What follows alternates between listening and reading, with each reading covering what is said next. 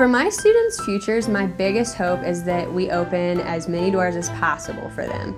My, my hope is just that at the end, whatever you do with your life is ultimately your choice because you had the opportunity to make that choice because you were prepared so academically.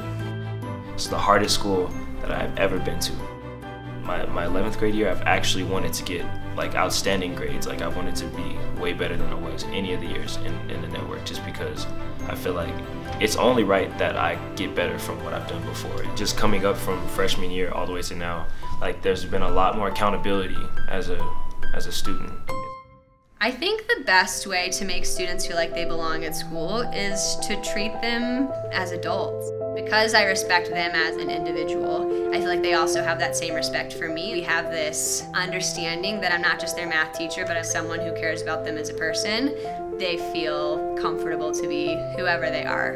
It really just takes a person to care about your student um, to show them that they can do it. And I'm lucky because I have an entire network in school full of teachers um, and students that actually care about each other and their success. I think uh, being a part of a supportive community is like really important at DSST because you know it's not really just about academics, but we can just sit around and talk about current events or just kind of chill. I think that's always fun to do and just have like a sense of community. I feel like what makes GVR unique is the diversity in our community. Like we have so many different types of people that come here and it's just it's really dope that we all connect. Like we all come together and I think that's what makes us unique.